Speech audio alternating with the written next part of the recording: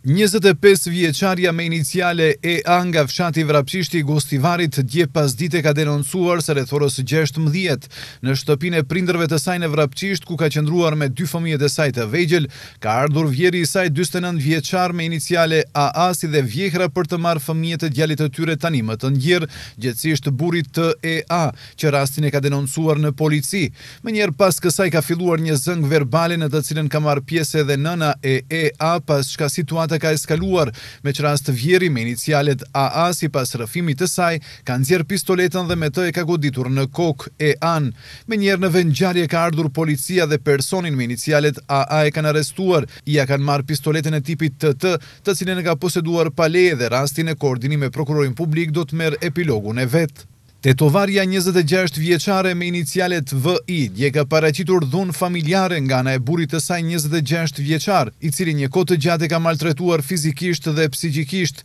Para disa ditëve në shtëpinë e tyre në fshatin Trebosh ai e ka sulmuar fizikisht, duke i shkaktuar lëndime të dukshme bashkëshortes së tij, e cila nga Spitali Klinik i Tetovës ka marrë edhe vërtetim për lëndimet. Dje mbrëma rreth orës njëzet e tre, policia e Tetovës ka arrestuar një tridhjetë e tetë vjeçar nga fshati Nerasht, për të cilin është lëshuar një urdhër-arrest për vuajtje të dënimit dy vjet e dhjetë muaj për veprën e kryer penale grabitje. I njëjti është dërguar në burgun e Idrizovës në Shkup për vuajtjen e dënimit.